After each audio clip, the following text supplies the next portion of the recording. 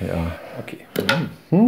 So, ja? Und Hallo und herzlich willkommen zum Biervergleich mit dem ungeduldigen Frank. Und den absolut geduldigen David. Richtig. In der dieswöchigen Folge geht es um eine Überraschung für Frank. Für mich. Genau, der hat nämlich keine Ahnung, was wir diese Woche machen. Äh, ich habe da per Zufall äh, aufgrund von einem Kommentar äh, wurde mir eine Brauerei empfohlen oder uns und ähm, habe da mal auf der Homepage geguckt. Ich gucke dann immer mal so ein bisschen gerade bei Marken, die äh, wir jetzt nicht so unbedingt kennen, also kleinere Marken. Und da habe ich was entdeckt und dann dachte ich, das ist was für Frank. Lasst euch überraschen. Genau.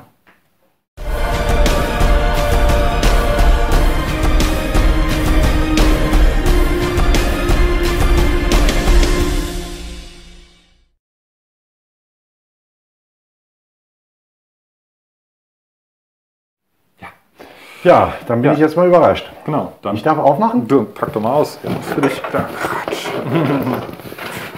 Hast du mal ein Messer? Ja.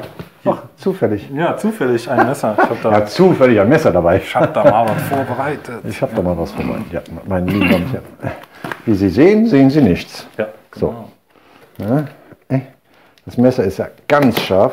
Okay, das ist mein Messer. Ja.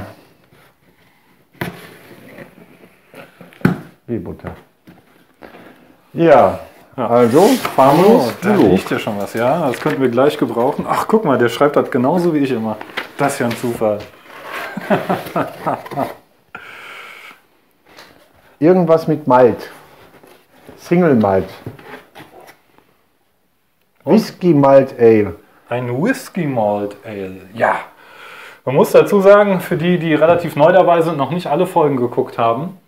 Frank ist nämlich eigentlich äh, spezialisierter im Bereich Whisky. Nein, Äh, war auch schon in Schottland. Ich, warst du schon mal in der Distillerie auch? in Irland. In Irland. In Irland in der Distillerie. Irland. Okay. Ja. Und ähm, Habe auch hier ein Whisky-Tasting in Köln gemacht. Und ja, sagen wir es mal so, ich trinke gerne mal gepflegt ein Whisky, weil Whisky ist nicht so zu trinken wie Bier. Aber das ist ja mal genial. ja, also das hatte ich gesehen und da musste ich direkt an dich denken und da dachte ich, komm, jetzt schießen wir einfach mal dazwischen und äh, ich bestelle das jetzt einfach mal äh, zwei Flaschen davon. Das sind noch unsere Notizen. Ja, Die zufällig dabei waren, mal aufhängen hier. zack, zack. Jetzt muss ich mal Zack, mein zack. Brillchen anziehen, ne? Und dass ich mal gucke. Obergäriges Starkbier mit Whisky-Malt. Gebraut nach dem deutschen Reinheitsgebot von 1516. Nicht filtriert, nicht stabilisiert. Mhm. Ja. Brauerei Neunspringe Worbis GmbH. Wo ist das denn? Äh, Das ist in Leinefelde-Worbis. Das ist in Thüringen, äh, ziemlich an der Landesgrenze zu Niedersachsen. Ähm, der nächste größere Ort, den man kennen könnte, ist Göttingen, was dann in Niedersachsen ist. Ähm, es ist, also so schreibt sie selber, die haben ja so ein, auf der Seite haben die ein, geil, ein ganz geiles Chart. Äh, ein Starkbier, bei dem sich die intensiven Aromen von Torf, Rauch und Whisky mit dem vollmundigen Geschmack von süßem Malz verbringen. Das ist mit getorftem Malz, also mit Whisky-Malz wird das eingebraut. Ich bin selber mal gespannt, ich habe sowas auch noch nie getrunken. Leute. Bei der Recherche habe ich dann gesehen, es gibt mehrere Marken, die sowas machen tatsächlich. Schauen wir einfach mal, wie das ist. 7,9 Umdrehungen hat das. Holla die Waldfee. Ah, gut, dass ich eben noch eine Pizza gegessen habe. Jo, ich habe auch zu Abend gegessen. Hier in Köln sagt man Himmel und Äd. Himmel und Erd, ja. ja. Okay, das ist äh, Kartoffel mit Apfelmus, ne? Ja, so eine Art Kartoffelpüree mit Äpfel drin Mhm. und dann äh, eine Flönz. Ah, echt? Ja. Also Blutwurst. Also ja, schon eine Blutwurst. Ah, Das schön. ist dieses Hin und Äd. Ja, bei den Temperaturen draußen, wir hatten heute Morgen 5 Grad im Mai, kann man auch mal so ein, was ja eigentlich fast eher wie ein Winteressen ist, ne? Kann Ja, man das mal essen. Ja. ja das ist eigentlich eine Brauerei. ne? Also eine Im Brau ja, genau, Brauerei. das kriegt man hier in den Brauhäusern, bekommt man das auch, das ist richtig, genau. Ich mach mal, während du äh, dann weiter öffnest und eingießt, ähm, ich Ja, soll ein bisschen, zur Geschichte. genau, ich habe ja ein bisschen vorgearbeitet auch passenderweise. Ja, weil ich wusste ja nicht. Also, sorry Leute, ich wusste es wirklich nicht. Also, ich bin jetzt echt mal gespannt und deswegen konnte ich mich auch nicht vorbereiten. der David, ich hätte jetzt mal was Falsches gesagt, aber der David hat dann einfach nur gesagt, ich habe eine Überraschung, ich habe eine Überraschung. Wisst ihr, wie das heißt, ist, wenn man, oi, Es kommt. Ja. Also der Schaum ist schon mal gut. Ja, äh, wie gesagt, also wo der Ort ist, haben wir ja schon geklärt. Ähm, 1162 hat im äh, Übrigen der Ort seine erste Erwähnung gehabt, damals noch unter dem Namen Wurbecke. Äh, und spätestens seit dem 16. Jahrhundert gibt es ein städtisches Brauhaus in dem Ort. Äh, man kann das nicht mehr genau datieren, es ist halt von daher eine Circa-Angabe. Äh, was man aber weiß, dass am 11. September 1867 ähm, Karl die Dampfbrauerei Karl Kunze äh, dort dann äh, geöffnet hat oder in den Betrieb aufgenommen hat. Äh, man hat es dann nachher umbenannt ähm, in, wie hieß es, in Neuen, Neunspringer. Man weiß nicht ganz genau, woher es kommt. Man vermutet, dass dort äh, neun verschiedene Quellen sind, wo jeweils kleine Bäche äh, entspringen. Es könnte aber auch sein, dass es von der neuen Quelle kommt. Ähm, in den 30er Jahren hat man dann ziemlich spät eigentlich den ersten LKW gekauft. Bis dahin hat man immer noch alles mit Pferdefuhrwerken ausgeliefert. Und was ich ganz interessant fand, man hat einen Eiskeller gehabt, äh, der Temper permanent dieselbe Temperatur hat. Nun musste man ja irgendwo immer Eis herbekommen, ähm, was dann auch vor 1900 noch äh, teilweise ein bisschen schwierig war. Kältemaschinen gab es zwar da schon, aber sie waren sehr teuer. Und von daher hat man im Winter das Eis von einem nahegelegenen Forellenteich genommen oder vom Freibad. Das fand ich auch geil. Damals wurde sowas noch nicht geklort, da konnte man das noch machen. Ähm, und äh, da es ja in Thüringen liegt, ist es dann leider am 1.12.1953 zum volkseigenen Betrieb geworden, wie so vieles. Ähm, Anfang der 90er Jahre hat man sich dann komplett neu aufgestellt.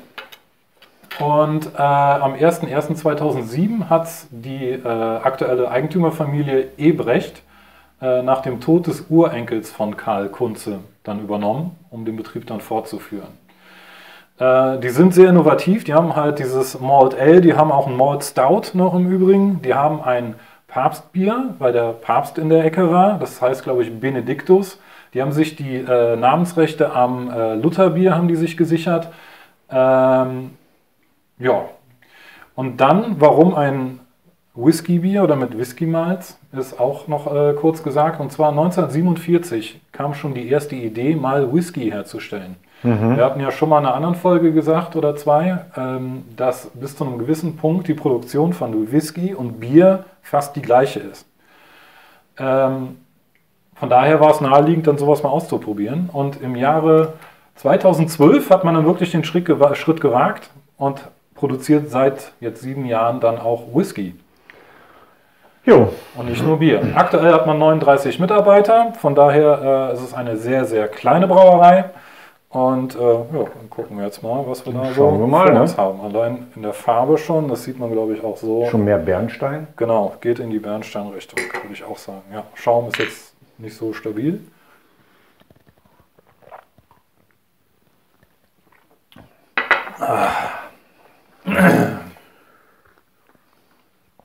Ich bin sowas von gespannt.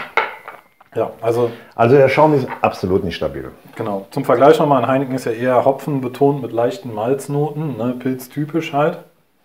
Das Ale, wie wir immer, äh, wie wir schon mal in der Ale-Folge hatten, wie was ist IPA und so, ist ja obergärig, ne? Und von daher tatsächlich wie ein Kölsch gebraut. So, und dann kommt dein Part an der Nee. Folge, weil ich habe von Whisky gar keine Ahnung. Also den Whisky riecht man raus. Auf Okay. jeden Fall. Das ist dieser leicht scharfe Geruch. Okay. Das hat, äh, riecht auch so ein bisschen erdig, finde ich. Kann das sein? So wie nasse Erde so ein bisschen? Das mag an den Torf liegen. Aber wenn man so richtig einatmet, ähm, riecht man so eine leichte, aber ist jetzt, darf man nicht mit scharf vergleichen wie mit äh, Paprika oder sowas, sondern das ist so eine leichte, scharfe Note in Form von, ja, ich kann dir das mal zeigen. Moment. Ups, ich gehe mal aus dem Bildschirm. So. Jetzt riechen wir hier dran. Ja, tatsächlich. Okay, also da ist klar der Alkoholgehalt beim Whisky höher, dementsprechend auch schärfer im Geruch. Ne? Ja. Ja. Aber die, die äh, äh, Aromen sind sehr ähnlich, das stimmt, ja. Ja, Also von daher, man riecht es raus, dass da Whisky drin ist, auf jeden Fall. Ja. Es wäre interessant zu wissen, Ich glaube, es ist fast noch ein bisschen warm, weil die sagen, bei 12 Grad sollte man es trinken, aber äh, ein bisschen kalt ist es fast noch. steht leider nicht dabei, welcher Whisky. Da ist kein Whisky drin, ne? Sonst wäre es ja nicht nach deutschem Reinheit. Whisky Malt, eben. Nee, also Das, das, ist, ja, ist, ist ja äh, so eine Art das ist Whisky Malz mit drin. Whisky Malz drin, ne? aber, aber man riecht dieses, Also dieses typische Whisky. Weißt du, dieses, was man, was du gerade gerochen hattest, dieses typische, dieser typische Whisky-Schärfe, Ja. sag ich jetzt mal. Das ist genauso wie bei diesem echt Schlenkerler Rauchbier. Da hat das Malz ja oder schmeckt so nach Rauch, weil das äh, Malz über Rauch getrocknet wird. Ne? Und bei dem Torfmalz oder Whisky-Malz, da wird das Malz über einem Torffeuer getrocknet. Ja, aber dann müsste es doch noch viel torfiger riechen. Es ist ja auch nur mit drin. Ne? Es Ja, ist ja. jetzt nicht ausschließlich. Aber man riecht, ich meine, die Schärfe von diesem Whisky. Ja, Naja, ich bin mal gespannt. ich will das jetzt. Vielleicht bilde ich mir auch was ein.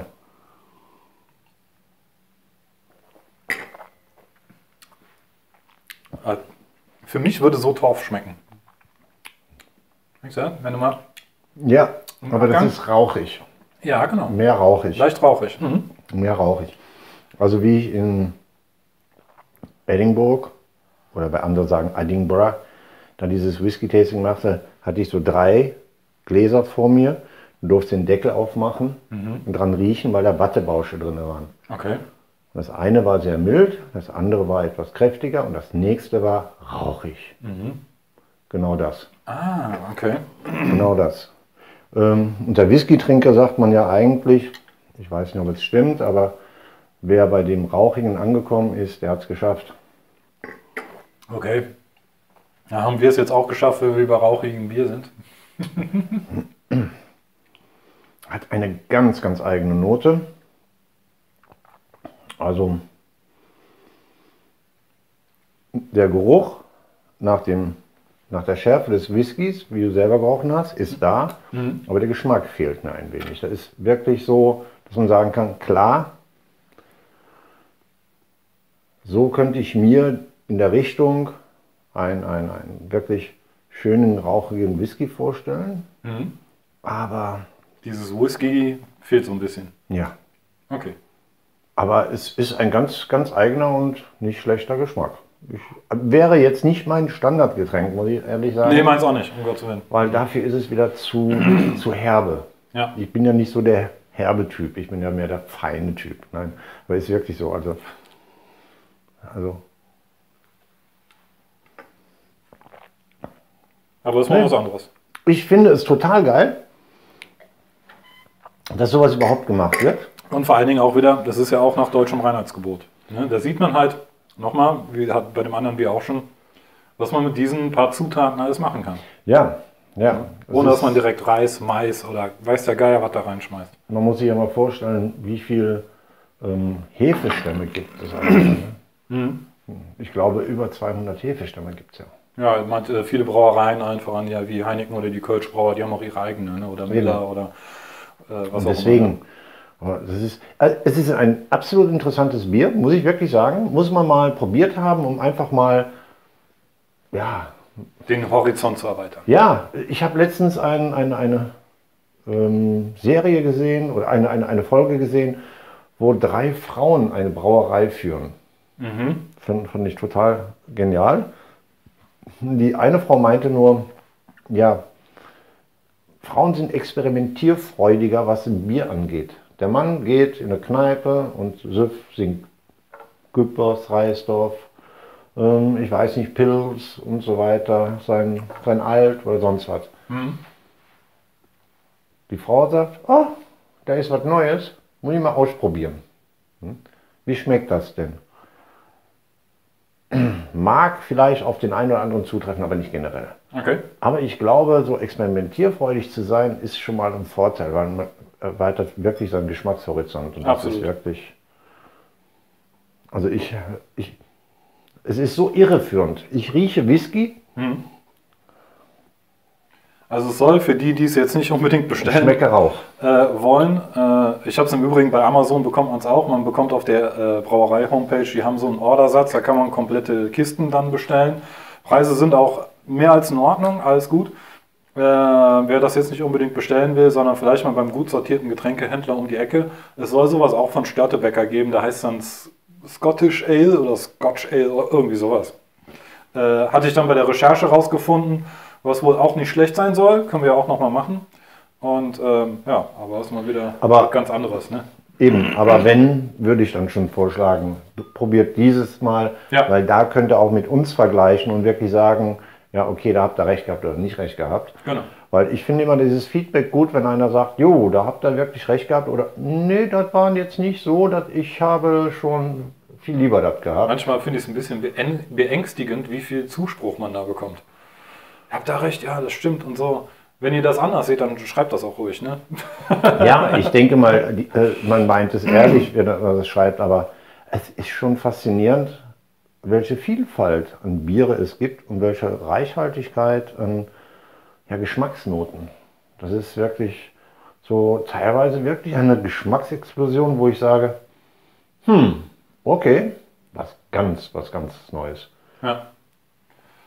Gut, dann noch was in eigener Sache. Und zwar äh, habt ihr, ist jetzt für den einen oder anderen vielleicht eine schlechte Nachricht, aber ihr werdet uns demnächst noch ein bisschen öfters sehen als bisher. Oh, Bis dato ist ja einmal die Woche, jeden Donnerstag, neue Folge. Aber wir hatten gedacht, wir machen mal oder testen mal zwei neue Formate an. Äh, auch unter dem Namen Biervergleich. Und zwar machen wir in unregelmäßigen Abständen, hängt halt einfach davon ab, wie neuer Input kommt, äh, machen wir Bier News oder Bier Nachrichten. Äh, zum einen, wo wir einfach ganz kurz in drei, vier Sätzen sagen, was passiert gerade neu in der Bierwelt. Äh, ähm, ne? was kommt gerade neu? Was hat, sage ich jetzt Ja, mal, wer kauft wen oder weiß der Geier was. Ne? Und das andere wäre dann, dass wir äh, der Biervergleich Neuvorstellung machen. Und zwar, äh, auch da kam die Idee aus einem Kommentar oder ist aus einem Kommentar unter dem Video entstanden. Einer schrieb, ähm, hier mach doch noch mal eine Folge über Krombacher. Ein anderer schrieb dann, ja, äh, äh, äh, hatten die schon. Und ähm, ja, von daher war dann die Idee, es kommt halt immer so viel Neues, auch von Marken, die wir schon hatten. Dass wir einfach auch da kurz und ohne nochmal auf die Geschichte einzugehen, weil wir die dann gegebenenfalls oder weil wir die dann schon hatten, dann einfach sagen, hier guck mal, das ist neu, wir testen das für euch mal an, dann wisst ihr, wie das schmeckt, bevor ihr es im äh, Laden kauft oder wo auch immer. Und das dann wirklich aber auch die, sowohl die Nachrichten als auch die Neuvorstellung einfach so drei, vier, fünf Minuten folgen und äh, das in unregelmäßigen Abständen. Einfach mal so zur Info das eine und das andere eben halt so nach dem Motto, es ist neu da, hier, guckt mal. Genau, Ja, damit ist so alles gesagt. Ne? ich denke auch. Also ich danke dir für dieses Single Malt Ale. Mhm. Das was very nice. You're welcome. Es war eine geile Überraschung. Sehr schön. Danke. Bitte. ja, in dem Sinne würde ich sagen, hoch die Tassen. Genau, bis nächste Woche. Bis nächste Woche und danke fürs Zuschauen. Ciao, ciao.